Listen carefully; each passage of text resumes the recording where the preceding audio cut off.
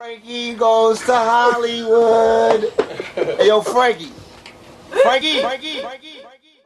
Everybody on these YouTube channels lying. Everybody lying. Everybody this big time trending topic. Everybody these hardcore gangsters. Everybody gonna do this to each other when they see each other. And truth be told, we too blessed and we be having too many views in this YouTube shit to be going to war with each other. And truth be told, don't nobody wanna fight nobody on this YouTube shit. Cause 98% of these YouTubers is cowards. Mmm, now that's Huggie Pacino certified. What's going on, y'all? It's Huggie Pacino back with a quick video. Um, we are in Winchester Hickory Hill. I've told this story, uh, but for those who have never heard the story, let me tell you the story. Uh, this is an Exxon, but it's, you know, I guess it's one of these uh, franchise versions of them called the Express Mart. And, you know, uh, and apps run it or whatever. You know how it goes. So what happens is uh, I was working here at this Exxon a long time ago when it was just an Exxon.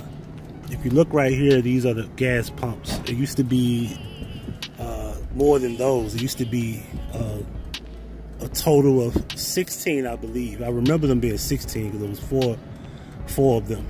And uh, so it used to be a lot huge, you know, bigger rather.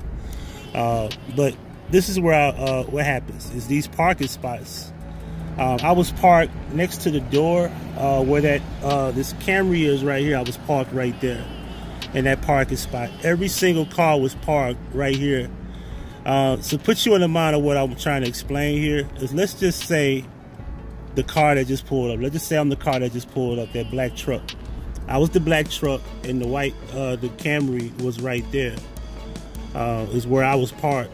No, I'm sorry. Where I was parked would be the black truck, the car next to me will be pulling out the same time I pull out when the situation happened over here. Now, back in the day, this used to be Little Miss Winters, right? If you look how far the distance is from there to over here, you can clearly see what I'm about to explain. Now, uh, this was a, a cold night.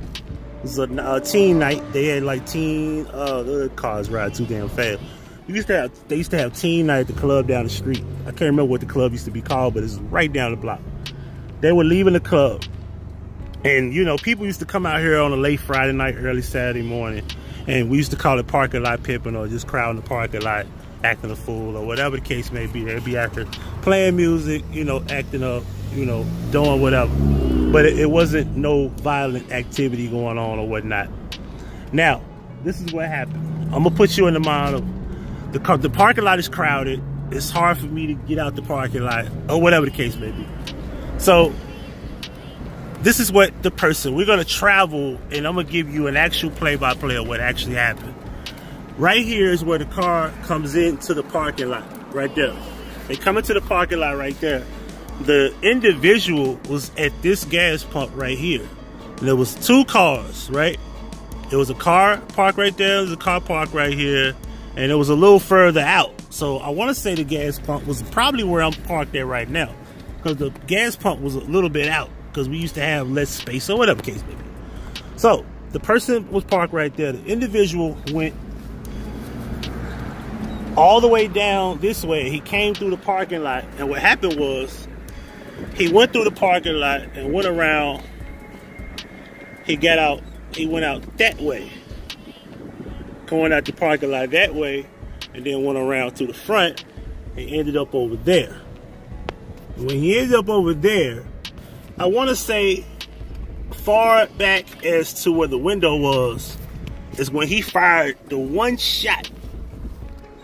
And he fired one shot and hit the man, the, the, hit the young man that was in his chest way over there, parked at the gas pump. He hit him dead in the chest from that far distance. One shot, one kill. The individual was arguing with some young kid at the club. I want to say I think they went to school together or they rival schools. I think one of the kids that died went to Kirby. The other one went to like, I don't know. I forgot what other school he went to. But he gets shot. He's dead.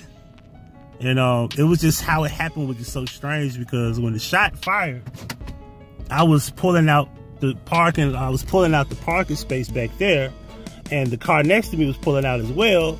And for some strange reason, we were avoiding each other, trying to avoid getting hit. And typically, being that the shots came from over here, I'm next to him, and he's on the left side of me. So if I'm going in reverse, I'm trying to stay within his, you know, protection so I don't get hit. And eventually what happened is, uh, you know, we all got out the parking lot. It was poor pandemonium. I want to say somebody hit a car trying to get out the parking lot. It was it was pandemonium that, that, that night. And I was just getting out of work. I had uh, a girl I was dating at the time. We lived, I was, she was living with me. And uh, when it happened, it just happened so fast. It was just crazy. Um, and then I found out later on that boy died and it fucked me up because it's like, I remember going in reverse and the guy was trying to go off the other way. So what I ended up doing is just going reverse. I ended up going reverse out the parking lot down that way. But I ended up doing it all in reverse like on some old puffy hypnotized shit. So uh, when I remember going in reverse, I remember looking to my left as I was going in reverse, I saw the boy holding his chest. And you could see the, because he had like a jacket on and he had a white t-shirt on. You could clearly see blood was just coming down from his upper, like by his collarbone. Like he probably got hit like right there. The blood was just dripping all the way down his shirt. And he was, uh, he was like slumping over, but he was trying to walk and he couldn't walk. And next thing you know, I remember going in reverse out the, out. This is how I did it. I went in reverse and um, I'm trying to give you the possible vivid memory I can give you without uh, doing any editing. So this is me. I'm gonna show you exactly what I did. I'm like, boom, right there, and I, I go on reverse. You know what I'm saying? Let me get my phone. I go on reverse. I'm looking to my left, and he was right here, bleeding, trying to go the opposite direction of where my car was. And I went off in reverse. And um, as I was going in reverse outside the parking lot right here, as I pulled all the way out, and I would, you know how you would make a, a reverse, you know, right, a reverse left, or right rather. It would be my left, you know, verse left, then go that way down Hickory Hill, because this is Hickory Hill right here. That's Winchester over there. As I was making the reverse, I remember going in this turning lane right here. I parked, I reversed so far back that I was in that turning lane right there. And I remember as I was in the turning lane, I saw the boy drop.